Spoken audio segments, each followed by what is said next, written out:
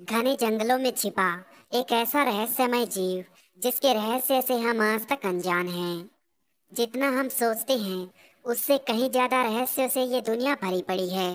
कुछ ऐसे जीव भी हमारे पास मौजूद हो सकते हैं, जिनके बारे में हम जानते भी ना हो। कुछ जीवों का अस्तित्व हमसे अनजान है, वहीं कुछ जीवों के होने का हम शुरू से ही अनुमान लगाते आए हैं। इनके धरती पर मौजूद होने का दावा हम नहीं कर सकते। लेकिन इनसे जुड़े सबूत हमारे पास लगातार आते रहे हैं। इन्हीं जीवों में से एक है बिगफुट जिसे हिमालय में येटी के नाम से भी जाना जाता है। कुछ लोगों का मानना है कि ये जीव घने जंगलों और बर्फीले पहाड़ों में छिप कर रहते हैं और इन्हें देखे जाने का सैकड़ों लोग दावा कर चुके हैं।